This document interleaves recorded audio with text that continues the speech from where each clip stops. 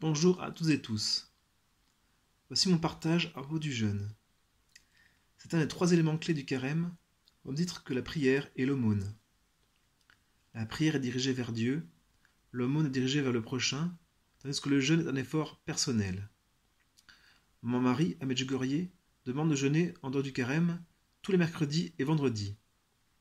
À la question des voyants pour savoir quelle est la meilleure façon de le pratiquer, elle a répondu que c'était au pain et à l'eau. Il fait partie des cinq pierres contre le démon. Mon mari nous l'a rappelé dans le message du 26 février dernier. Par la prière et le jeûne, même les guerres peuvent être arrêtées. La prière et le jeûne sont indissociables. Sinon, cela reste au niveau d'un simple régime, et, sans le jeûne, la prière perd beaucoup de sa force. Je vis en colocation dans l'association des sources vives, qui a le charisme d'accueillir des personnes aux santé psychique fragiles ayant plus ou moins la foi. Au début, j'ai voulu continuer à jeûner les mercredis et vendredis au pain et à l'eau.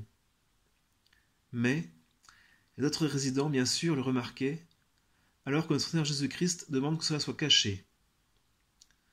Bonne nouvelle selon Saint Matthieu 6, 18.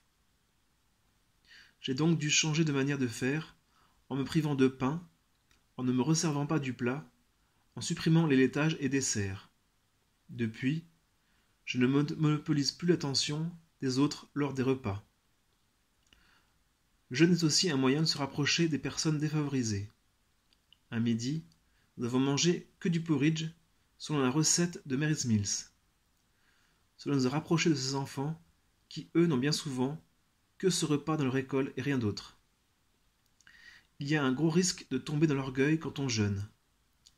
Il faut éviter de tomber dans ce travers du pharisien qui se croit meilleur que les autres à cause de sa pratique scrupuleuse.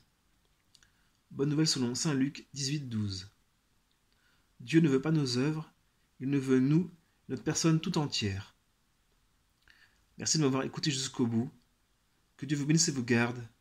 Amen.